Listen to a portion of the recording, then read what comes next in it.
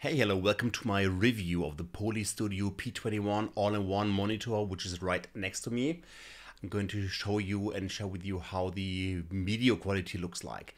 Microphone, loudspeaker, charging plate, um, display. And I'm going to compare it to my current uh, laptops called Samsung Galaxy Book and also to the Dell Latitude. And we compare the camera and the microphone quality.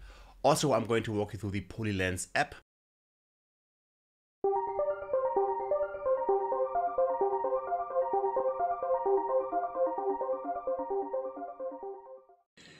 Setup of this monitor is very easy. You literally only have two cables, one USB-C and one USB-A to connect to your PC or to your Mac.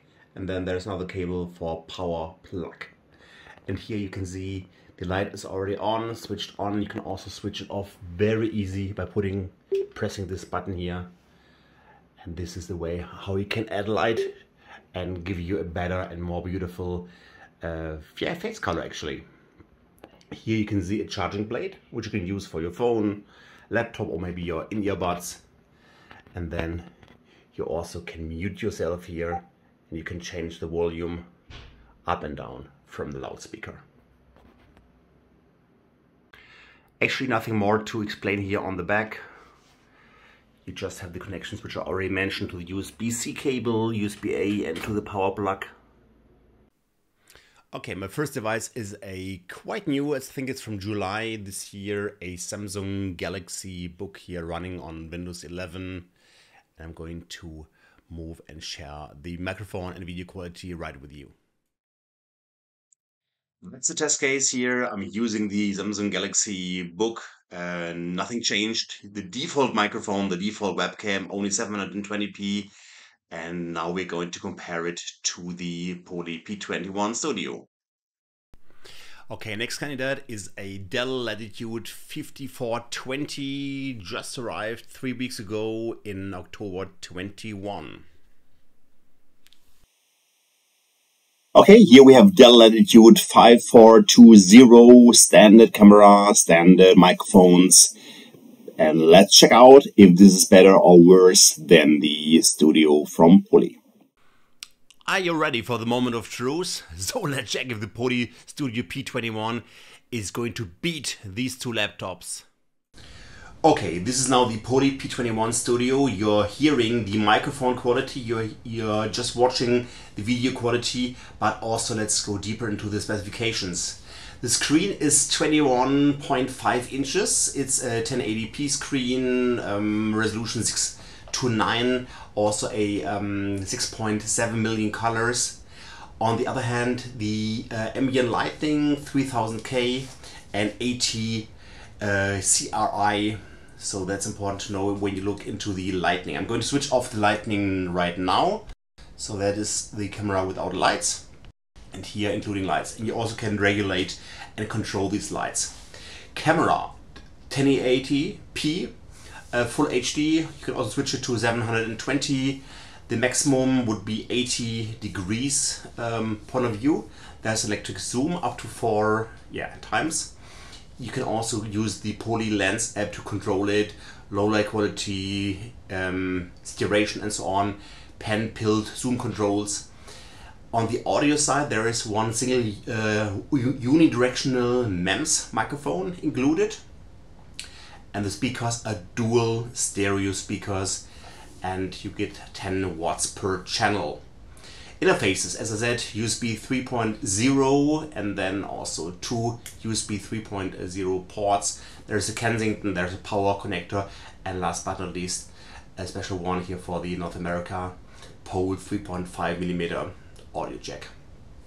Power re requirements uh, 110, 240, depends where you are. And then it's important to mention that it works on a Mac, on a PC, starting with Windows 8, going uh, from Mac 10.15 up to the latest versions. And it's certified and compatible with Zoom and Microsoft Teams.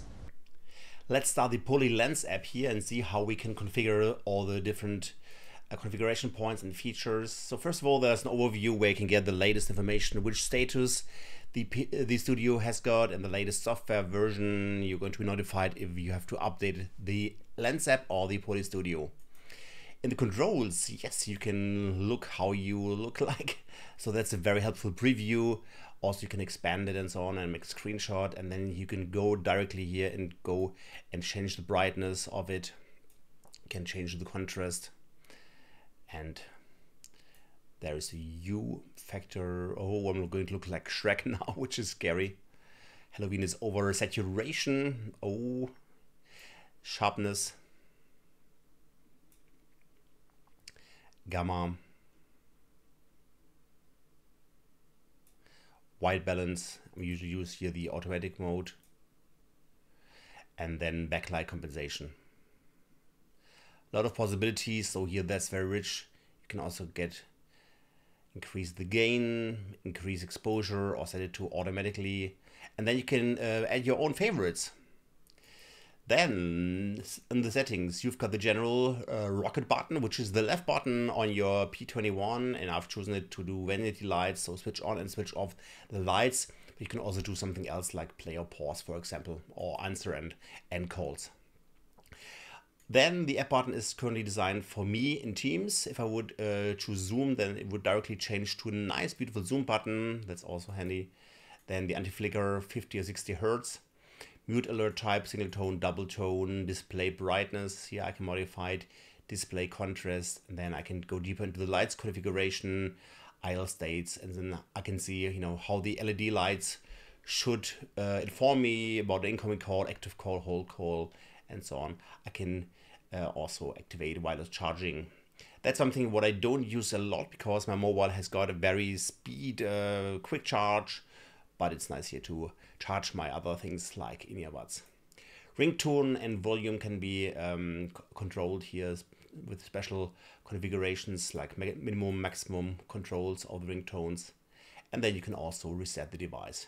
Support is going to give you user guide, a quick start guide, and then also you can contact Poly support. Please share with me in the comments if you're convinced about the value add what Poly is currently creating with this new form factor.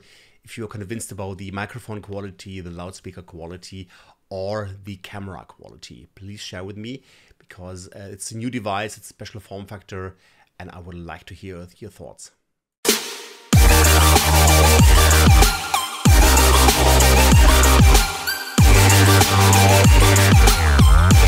Música